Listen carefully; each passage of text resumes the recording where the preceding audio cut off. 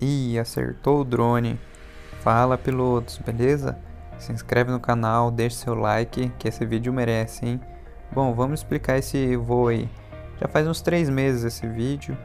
Eu tinha solicitado esse voo numa área rural, né, no, pelos Sarpas, e é numa chácara do meu sogro.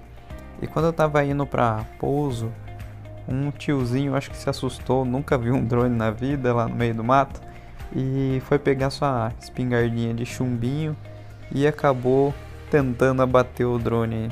A sorte é que não estragou muita coisa, só troquei a shell superior dele e bora voar. Mas fica de alerta aí, mesmo você estando voando nas leis aí, eu tava para cima de 30, entre 30 e 120 metros, é, pode acontecer uma fatalidade dessas. É, a imagem não ficou muito boa porque eu dei um zoom bem grande para vocês conseguirem enxergar o que aconteceu. Mas fiquem aí com as imagens. Comenta aí embaixo o que você faria numa situação dessa. Falou, bons voos para todos vocês.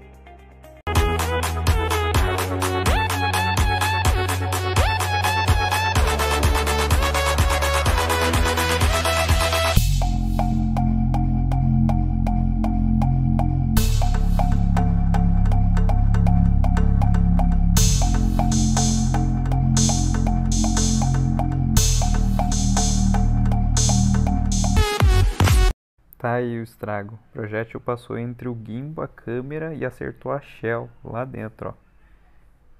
Por um lado foi sorte.